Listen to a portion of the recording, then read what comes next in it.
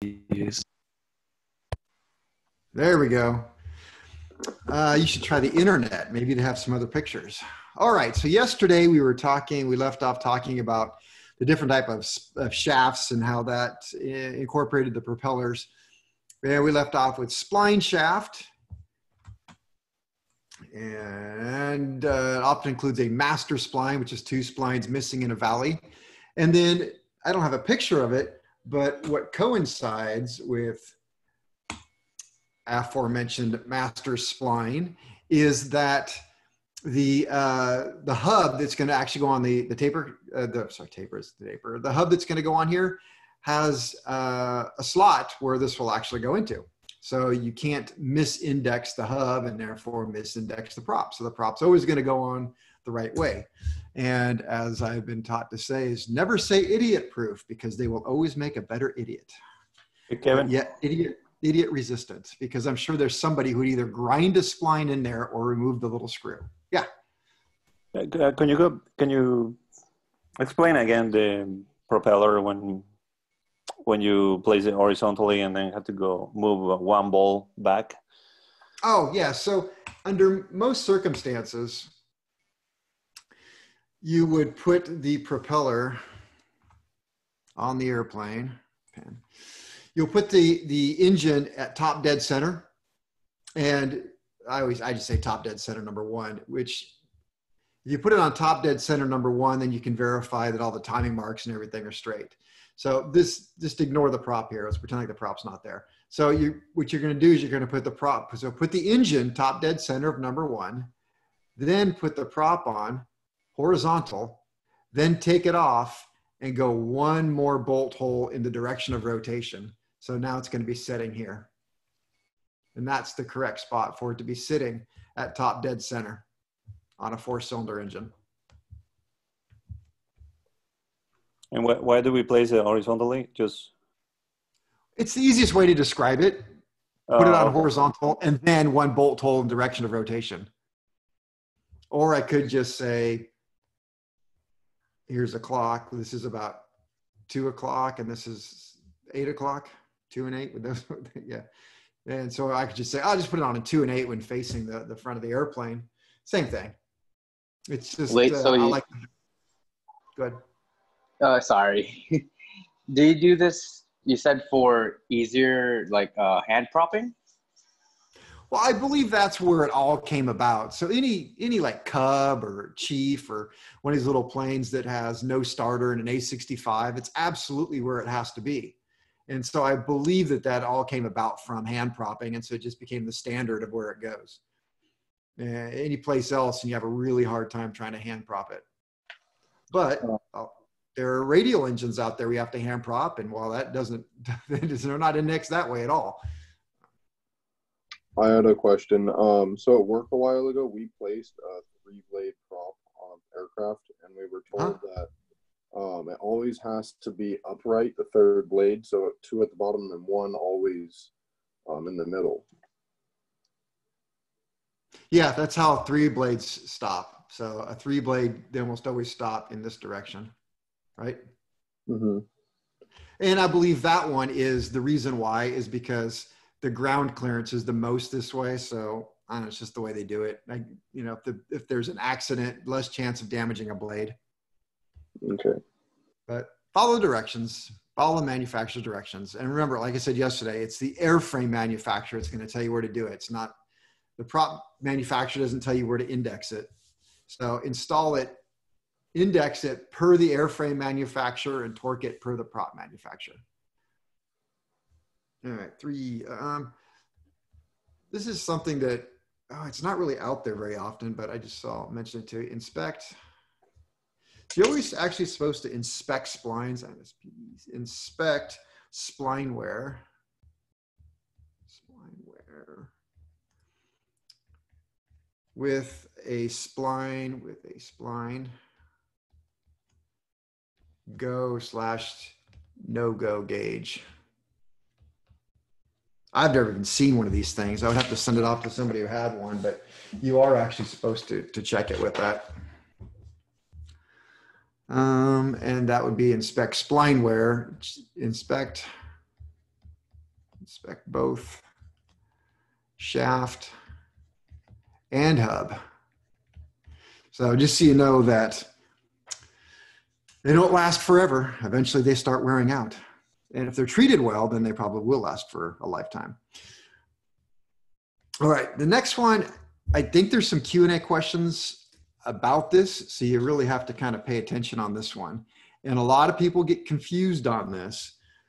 I'm going to try to make it not confusing. It's a little hard because we don't have one to look at right here. So the installation, the installation of this type of spline shaft uses front and rear cones to center the prop on the shaft. So installation uses front and rear cones, rear cones to center the prop on the shaft. So center the prop on the shaft. All right, I'm going to pull over a, let me see, what else do I have here that might help us? Oh yeah, I got a cool video for today. So something to look forward to. We'll start here. Okay, so we're talking about this type of shaft. And with this type of shaft, it is not tapered. It's like the taper shaft and you put that adapter on. Well, number one, you have the keyway right there, which, which keeps it from rotating on the shaft. But because the shaft is tapered and the hub is tapered, it just goes on until the taper meets the taper and then it doesn't go any further. Well, these shafts right here, these uh, spline shafts, they're straight all the way down. And so if you stop and think about it, you think, okay, wait a minute. So if I tighten the nut up on here, what's really stopping the whole hub from going further down the shaft? Is it just that the spline hits the spline and all the spline smashed together? And actually, the answer to is, is no, that is not a good idea. So let's check, let me check my next segment's PowerPoint. I think I've got something that might help us out here. Um, adjustable props, I think so. Let's see, let's see, let's see. No, not really, no. All right, so back to this one. All right, so what actually is, um, yeah, I'll do this one. So here's, here's what the hub looks like. Oops.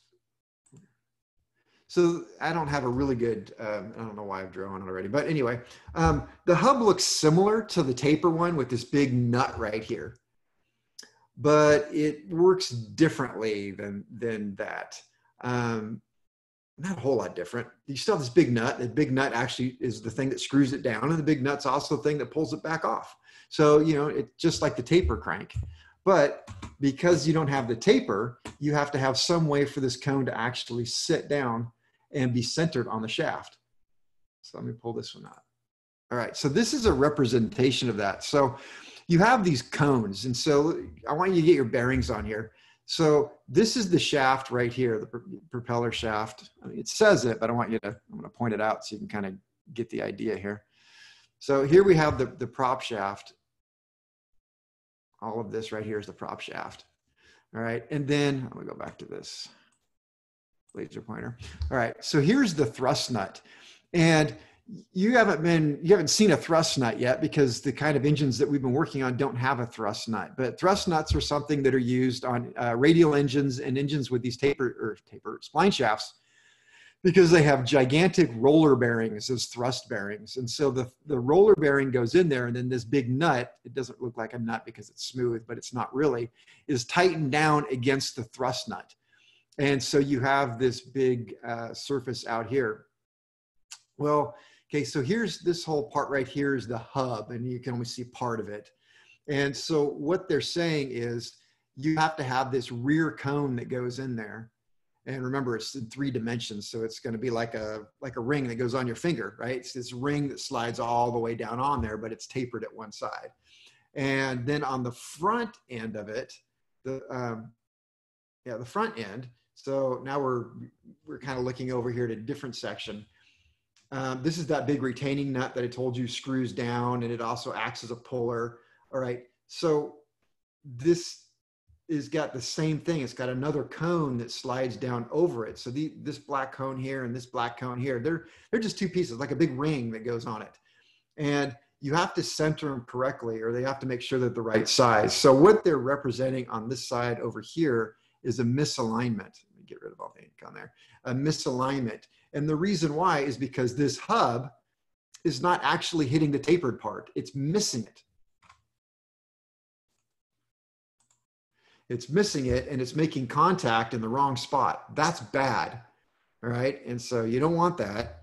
And then let me see on this one, um, they're showing something else that's bad. And that's as you've tightened this nut and brought this all together, this cone has actually started to hit the splines and that's not good. So you're tightening up the nut against the splines, which could allow the, um, this hub to slide back and forth between the two cones. So you gotta, you have to understand this cone issue and it's really, I mean, it's all the pictures I really have on this. Unfortunately, it's kind of such an old thing that there's not a lot of uh, useful pictures, but let's see if we can kind of work through it. And I normally have a, a, a at least a ring. I'll show you guys, but um, let me see. Um, a lot of it's the same way. So installation uses front and rear cones to send the prop on the shaft. Yeah, I said that. So one, we use use Prussian blue that's Steve's favorite stuff. Use Prussian blue to verify to verify 70% contact area.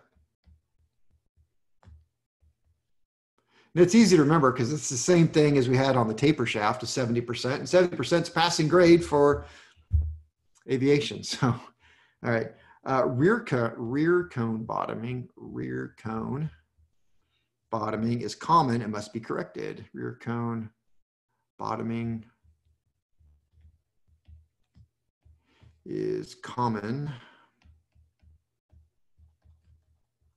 It must be corrected. Corrected. Um, so that's here. And then front cone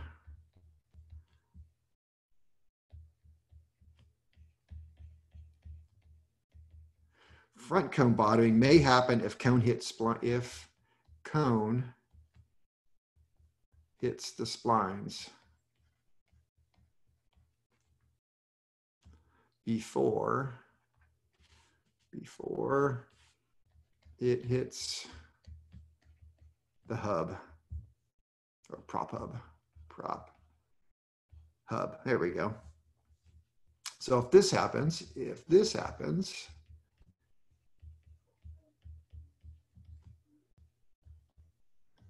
move the rear cone forward. Move rear cone forward.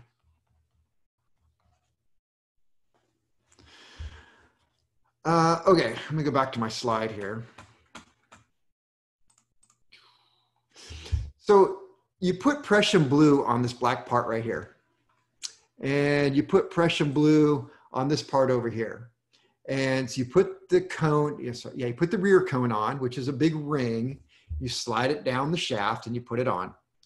Then you put on the hub, which has the prop blades on it. Then you put on the front cone and then you tighten the, the thrust nut, or here's not the engine thrust nut, but the retaining nut, I should say. So tighten the retaining nut. Then you're going to take it off and we're going to take a look at this. And what am I going to see? I'm going to see all the Prussian blue that I put right here did not make contact with the hub. And I could put Prussian blue on here, but if I put it all the way across, I would say, okay, well, it's touching the front of the hub, but it's also touching my splines, which is really bad.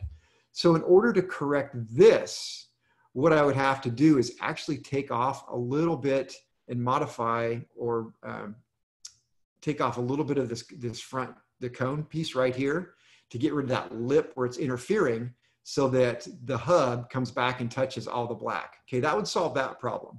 Two, I've got to put shims back here and move this hub forward.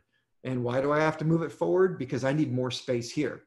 So I shim this, move the whole hub, this cone forward, which means that when I tighten down the retaining nut, this cone here will tighten up into the hub and not touch the spline right there, giving me a little bit of clearance right there.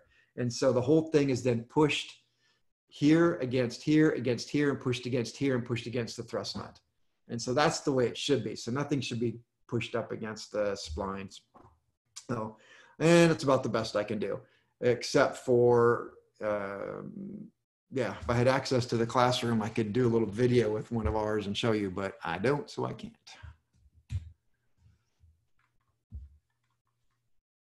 Yeah, I cannot picture this at all.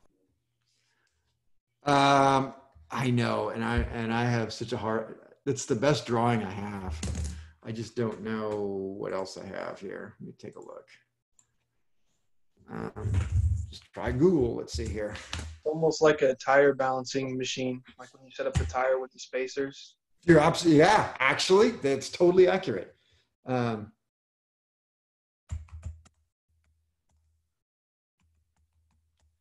try to prop. Um, well, unfortunately, I'm going to get all kinds of stuff for boats. Is what I got.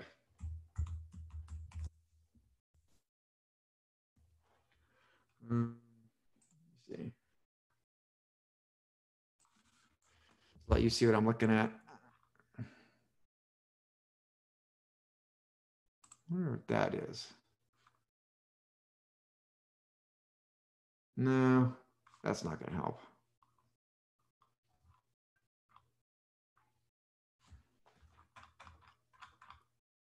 There, what is that one?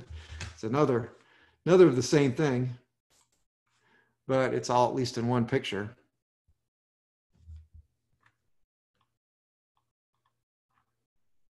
I didn't help.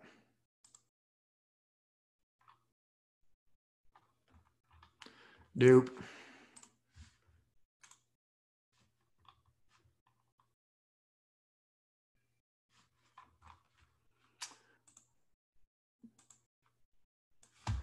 No, I don't got anything for you good. Or they don't anyway. Me see.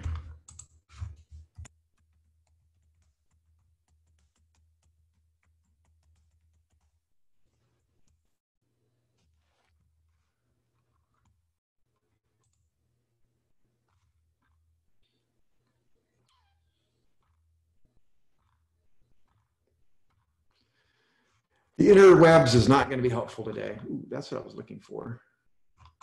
Nope. Hey, Kevin, are these PowerPoints uh, online? Um, maybe. Sometimes I put them there. No, I don't have anything useful we can share with you.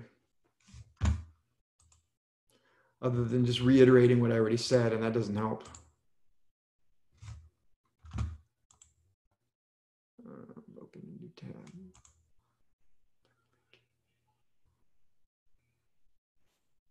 There, that's what I wanted. Let's see. This is backwards um, from what we just looked at, where the, where the front cone's over on this side and the rear cone's on this side. But this is the prop hub up here. This is the prop hub up here. And this is the shaft. And it's kind of weird how the splines right there. Yeah, that makes sense. So splines there. So here's the rear cone, and I and I think I'm really just saying the same thing over again, but maybe in one picture you can find it where you slide this cone on, then you slide on the hub, then you slide on another cone with the retaining nut, you tighten it all together. And where's it supposed to hit? It's supposed to hit right here, right here, and all of that pushes against the thrust nut. And if it doesn't, then you have a problem. If this right here makes contact with the front of the splines, you've got a problem because you've tightened this big nut up against this, against the spline, and you did not want to do that. So there's no assurances that this is tight against here and this is tight against here. The only thing that you've assured yourself it's tight is this nut is tight against the ring and that cone is tight against the splines, and that is not good there's supposed to be a small amount of space here before it touches the splines. And what would cause that? Just wear? Um, just wrong sizing. It's just it's just one of those things you want to make sure that you um, put assemble it correctly. There's something else that's a little different along the same lines. So here's the cones, what they look like. I mean, I don't think it helps you a whole lot. And it'd be nice if this is actually wasn't blurry. But you have a cone. Open link. Let's try this.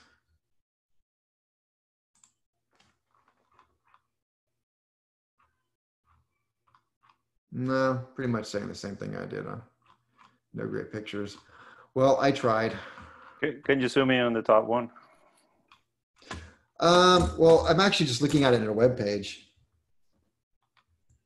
and it's just too blurry. So I've opened up the the original web page here, and it's not any better. Just I don't think. Yeah, it's a little better. Hey Kevin, if you Yeah. go back to your PowerPoint one, can you explain like what the location and orientation of what the parts are? Like which way, you know, does it spin and all that? Like I feel like it'll be better. Okay, so let's take a look at this. This is a pretty good picture. So spline shaft, uh, cone spacer. So that is the one thing that's not being shown here, but um, the cone spacer, if the spacer is not the right size, then that is going to put the rear cone in the wrong position. If the rear cone is too far back, this front cone is going to smash into the splines. See, the, the rear cone is actually has a larger inside diameter, so it slides down all of the splines. It slides down all the splines and rests back in here. This rear cone does. And the front cone doesn't. It's not as big, and it only slides across here. And it'll bump into where the splines are right here. So that's really bad. If the nut smashes the front cone into the into the front of these splines, then all you've done is tighten that cone up super tight against the splines. That doesn't do any good. That front cone's got to tighten up against the hub, which is part of the hub right here, um, and assure that you're tightening it all up. All right, so let me go back to Question, Kevin. Yeah, Um, so say the well, Prussian Blue's the only really way you would know if it's gonna go on correctly. Then, otherwise, if you just put it on, you wouldn't really know if it's hitting the spline. That's correct. So again, so this is the the engine side over here. This is the front of the prop flange here. So um, the the aircraft is headed ooh, to my to the right here, and um, so this is the front cone. These are the splines. So here you have the thrust nut. It, it does it goes inside here just like that. It's the, kind of weird how it does that because this is sort of a two piece deal. Um, so when you tighten up this nut and this cone, if it hits that, then the nut is tight. This is tight against the splines, and the hub is free to go back and forth, right and left, just bang, bang, bang, bang. And there's no assurances that it's tight. Would you feel that as play? Yeah, yeah, you can if you if you're a astute enough mechanic that you were astute enough to um, feel the play, but not enough to know what you were doing. So you could grab it and move it, but maybe it's a thousandth of an inch, but you're not gonna. It may move just a tiny bit, or you could run into this situation where you had the cone was just not quite the right size and was pinched right here, and so. Um, once this little spot wears out, you're going to have all this space and that prop's going to start moving back and forth. And you just So- put that, or you need 70% of contact on those cone faces with the hub. Yes. We could almost take this and it doesn't have to be split. I mean, I don't know. They just did do the whole picture. And this kind of goes over here like that. And this all connects. It's like one big piece. I don't know why they made it two and cut it out in the middle, but you're just looking at the rear end here and the front end over here. So, so I'm sorry I don't have anything else I can really share with you on that one. Um, looks similar to the installation on a Huey rotor. It might be. That I don't know. It actually really helped when you said that the airplane was like going to the right. Okay. I was thinking about it up and down, but then when you said that, I was like, oh, well, now I can piece it together. Yeah, I wish I had some good pictures. I just don't. I don't even have a video on how it's done. It's something I should do. So failure, fail, failure to properly tighten hub to properly tighten tighten hub tighten hub. Can cause cone galling. Can cause cone galling which is going to lead to a loose prop and that's actually going to start galling the crankshaft and the splines and wear out the splines. And that's okay just get a new crankshaft new prop hub. I mean how much could that be right? Um, some of the uh, projects that you guys do in lab you know me and i always say it i hate busy work. And boy if you ever think i'm giving you something that's busy work you let me know. And if i agree with you it's the last time that ever happened. But one of the things that that i started doing is when you guys are going to work a ground adjustable propeller and i'm going to make you adjust the blades on it. And i started this new thing and i shouldn't have some people aren't always happy with me when i do this because never mind. Um, but I make you take the prop off and on. And so there's this constant, yeah, we go, people go in the tool room asking for anti-seize. And so, you know, that goes over, but I have you do everything and I have you do it right. And um, the reason why I have you take this prop off and on is because you get used to and learn how to take off a prop off of a taper, uh, off the uh, spline shaft, and you, then you can see the cones and you can experience it. Now, I don't actually make you do the Prussian blue. I probably should just for the fun of it. Um, in fact, I probably will start that. And uh, then you'll see how to do that. So have you tighten it all up and put it on and experience that. And then, then once you do it, you'll understand. It's just really hard here to explain it, but uh, you'll have to trust me that I will have you do it in lab. And when you do it, you're going to just have the pieces in your hand and going, oh, I get it. Oh, why don't you just say that? So it'll, it'll make more sense to you. Yeah, why don't you show us a picture? What picture? I'm just kidding. That's what we're gonna say. I don't have a picture. I looked. Um, okay, so let's move on to something that you will understand here without too much trouble. So that'd be 16.16. Check the tracking. You always want to check tracking. Check tracking after after installation.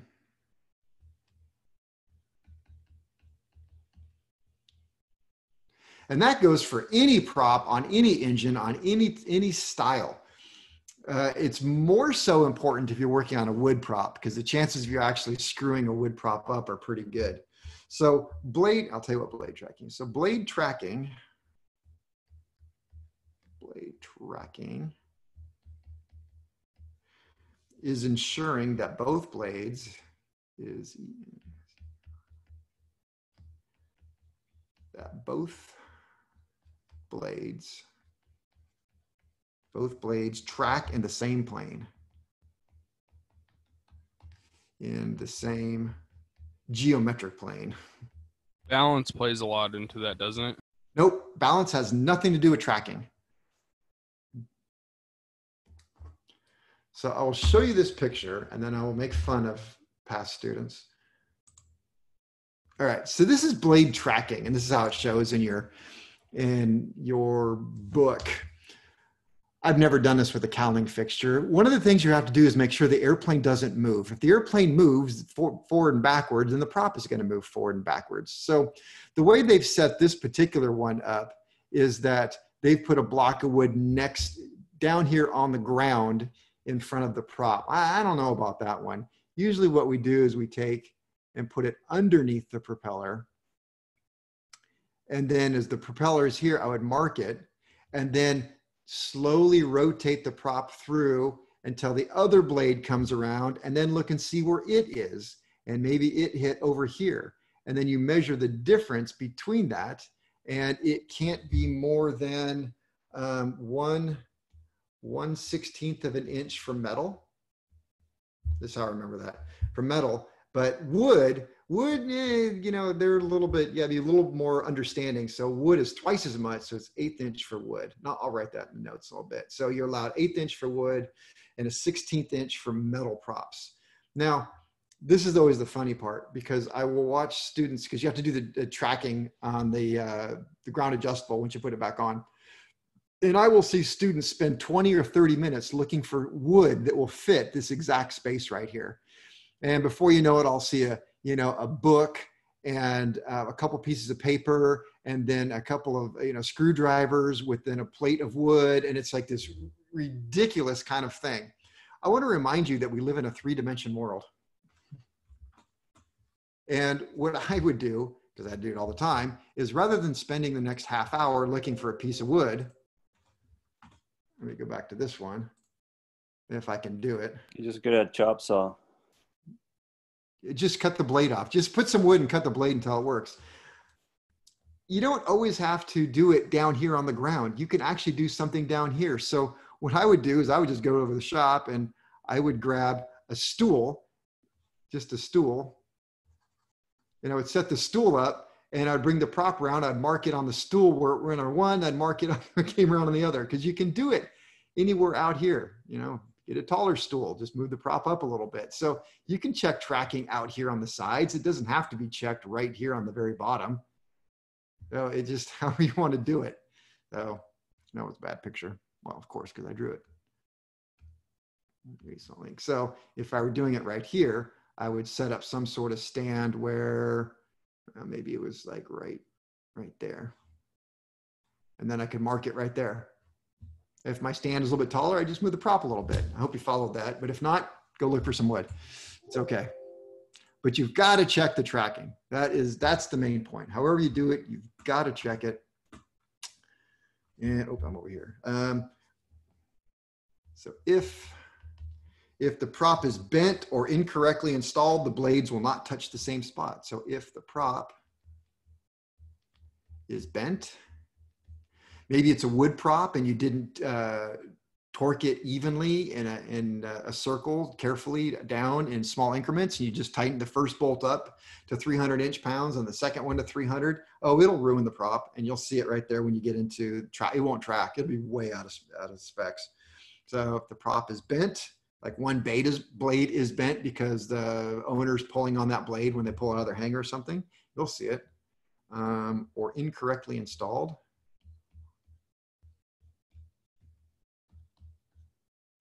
installed, the blades will not touch the same spot. The blades will not touch the same spot. And that's a bad thing. Um, max allowable, max allowable out of track is one sixteenth inch for metal and one eighth inch for wood. Uh, tracking, I don't know about this one, but it's, it's what it is. Tracking can be corrected with shims. And there's a whole procedure for doing it. I'm not so much the shim kind of a guy to track tra- tra- tracking. If uh, I've got a prop that's not tracking correctly, I'm gonna go. I'm gonna send it to a prop shop and have it fixed. I think that's a much better fix than shimming it up Where would you put the shims? In the bolts? Uh, on the hub.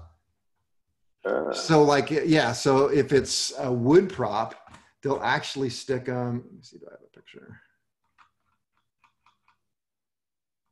There we go. Let's go. with it seems like you'd need like graduated shims where the ones you do. one side.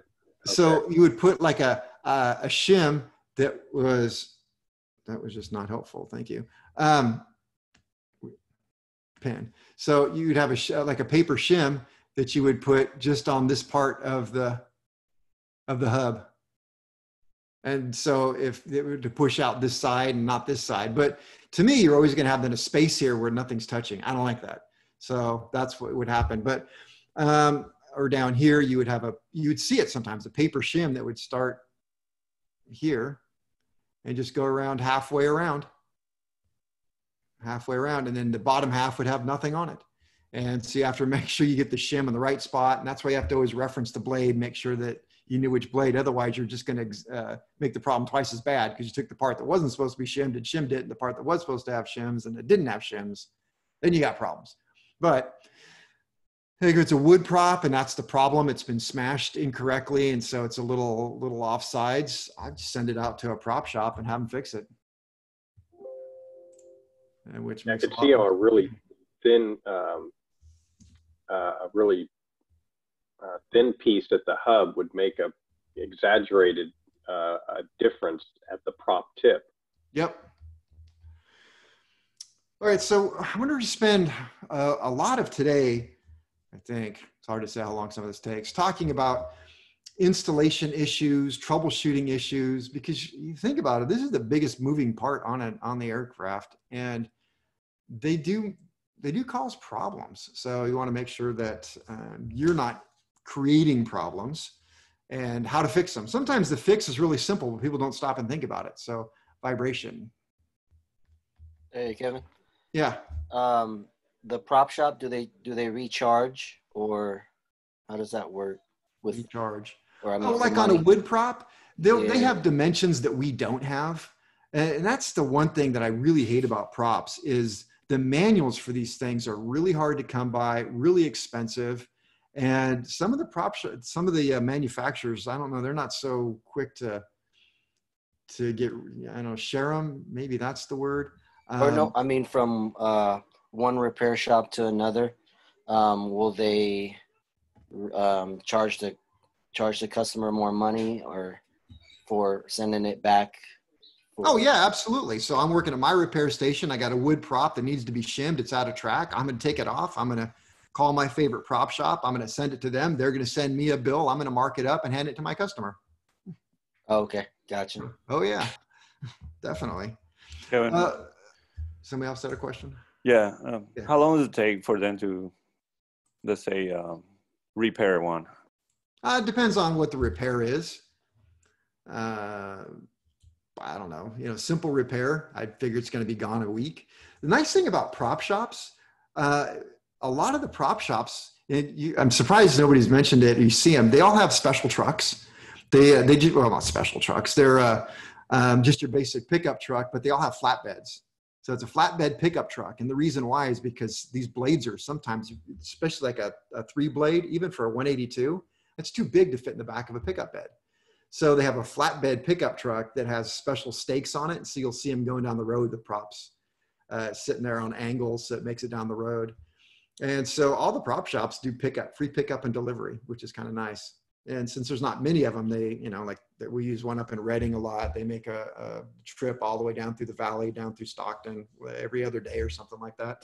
Pick up your stuff because props are not easy to ship around. You can't ship them UPS either. I mean, you can if it's a two blade, but not with not if it's three blade. Those things are huge. Well, I shouldn't say that. You still can. It's just expensive. Uh, okay, so vibration. It's not that uncommon.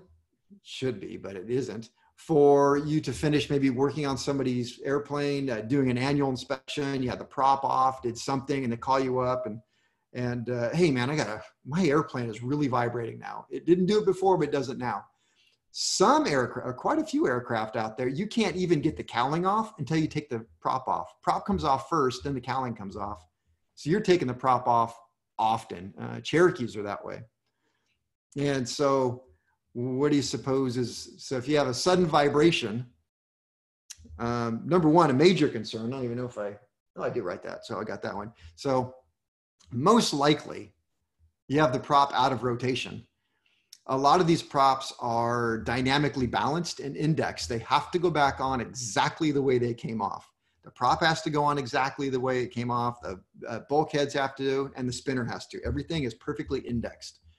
So whenever I take a prop off, you'll see that I, I have a little sharpie or something. I will make absolute definite indi- indications or tape or something where the prop has to go on. So it always goes back the same way. But Customer says suddenly it vibrates. Well, yeah, we'll try rotating it 180 degrees. Rotating prop 180 degrees. Now you have to take the prop off and rotate it. You can't rotate it while it's on the engine. That's that's that doesn't work. Uh, but take it off and make your make your because sometimes uh, it was balanced. It has balance weights on the prop, and you just debalanced it by moving it, putting it on backwards. Um, Sometimes the torque is loose and they're feeling the vibration for that. So check the prop torque. Check torque. Um, and with wood props, I mentioned this, that uh, wood props, wood props, uh, left with one blade down, left with one blade down, may be retaining moisture, may be retaining moisture. You know what the repair is for that one? Buy a new prop. Huh? Leave, put the other one down. You got it. Put the heavy side up and the light side down. Moisture will drain to the drill drain till it's evened out. That is really the That's, what you do. that's bizarre. Uh, okay, so rotate, rotating 180, make here the problem. Check torque. Should put this one. I don't have it. But, uh, check index. Check the indexing. Make sure it's actually installed correctly.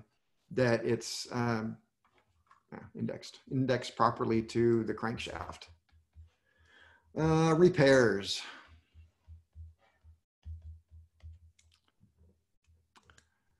repairs. As I told you, I don't do many repairs to propellers for a very good reason. So 14 CFR uh, 65 does not does not allow an A&P. A&P. By the way, propellers come under the P part. That's what the P stands for, right?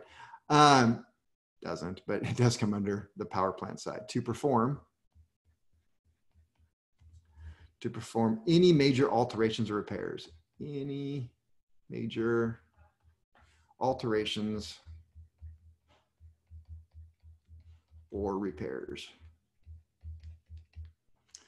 Well, what is a major alteration or repair? Is it my opinion? Is it, uh, Whatever's outlined in 14 CFR 65. okay. Uh, let me see. It says that I have a PowerPoint here. Let's see. Do I really? Um, there we go. Uh, certified and certified. This is you're under your certification. So certified mechanic may perform supervised maintenance alteration. She is repaired, excluding major repairs to and major alterations of props and any repair or to or any alteration of instruments. So right there under 65 part 81 says you may not do any major repairs or alterations to a propeller. Great. What is a major alteration to a repeller? Uh, uh, that's something you're going to have to read. Where would you read it? Anybody? Anybody? There's a point That- where it that one defines what book. major alterations and repairs are. It okay, wouldn't be in The- the prop 43, manual? 13, 'cause that's that's only recommended. Um, What's that one? I can't hear. Manufacturer. Manufacturer is incorrect. It's in the CFR still. Yeah, where? There's a section that a- actually explains what a major alteration and repair is. I don't Yeah. Well, the book's pretty thick. Where are you going to go? appendix A of something, I think. Close enough. FAR 43 Appendix A. There we go. So 43 is, is maintenance. Uh, so propeller alterations, the following alteration prop.